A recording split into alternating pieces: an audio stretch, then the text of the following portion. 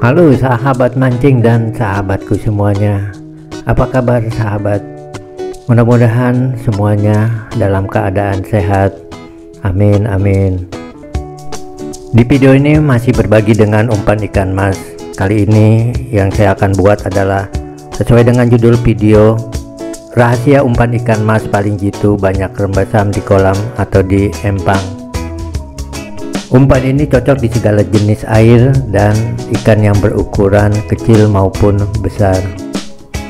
Sebelum kita lanjutkan, buat teman-teman yang baru menemukan channel ini, silahkan like, comment, subscribe, dan tentunya dihidupkan tanda loncengnya.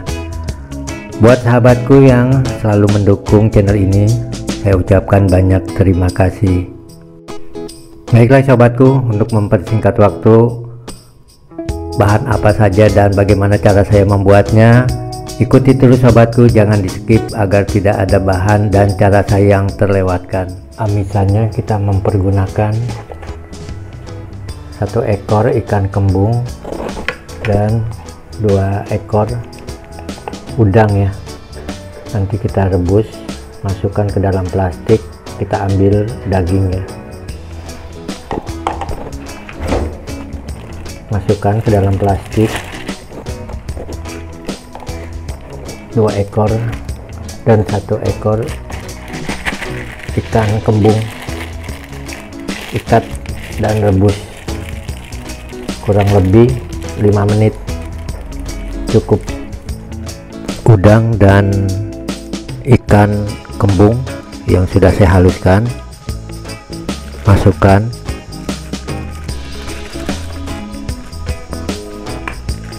kemudian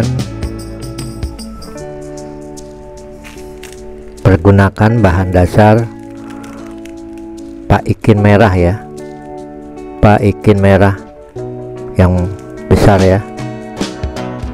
Kita pergunakan setengah. Kita pergunakan setengah ya sobat. Ya separuh tuh. Kita pergunakan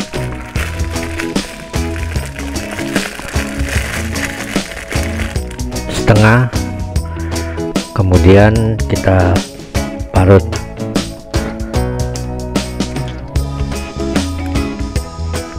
Parut lahan-lahan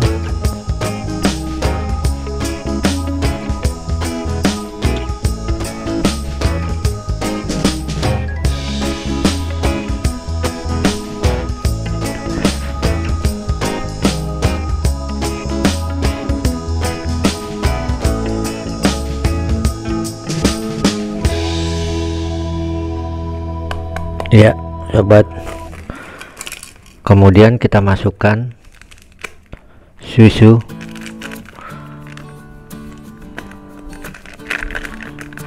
Susu sebanyak satu sendok makan.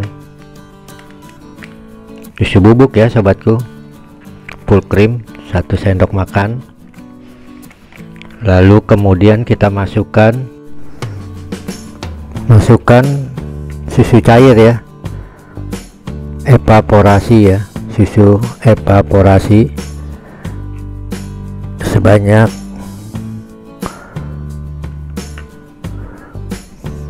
kurang lebih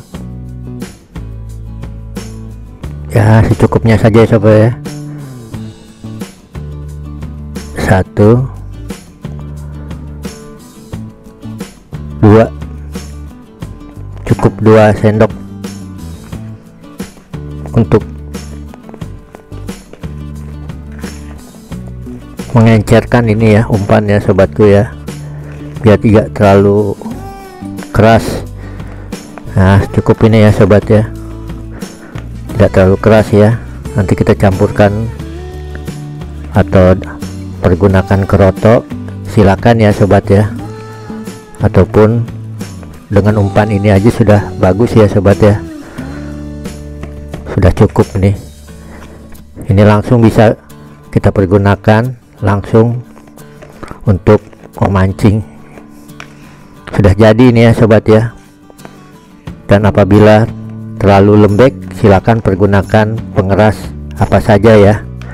Yang, yang penting tidak menyengat aromanya. Nah ini direbus. Juga bagus ya sobat ya. Boleh uh, sebelum dipergunakan direbus dulu ataupun langsung kita pergunakan sebagai umpan dadakan juga bagus ya sobat ya. Ya mantap sobat. Kita masukkan ke dalam plastik ya. Ini saya rebus dulu. Sebelum saya pergunakan saya rebus ya sobat ya. Agar agak awet sedikit ya lebih awet kalau saya mempergunakan pengerasnya katulampa ya katulampa biasa. Bukan yang bakar ya sobat ya tapi katulampa biasa aja. Oke sobat kita rebus. Dan umpan kita siap pergunakan untuk memancing ikan mas. Sasarannya ikan mas sedang sampai ikan mas yang besar juga mau makan ini sobatku rebus kurang lebih 10 menit cukup ya sobat. Lalu angkat. Setelah 10 menit umpan kita angkat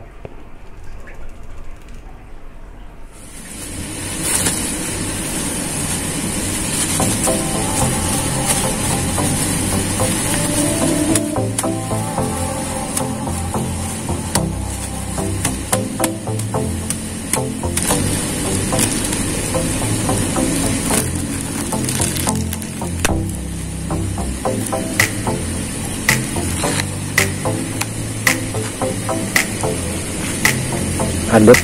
Jangan ditekan ya sobat. Cukup diaduk-aduk saja.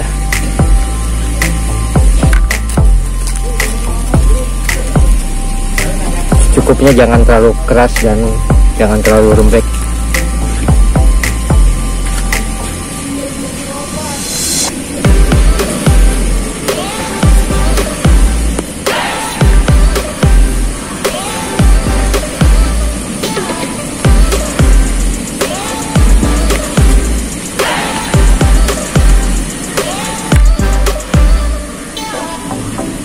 ya umpan cukup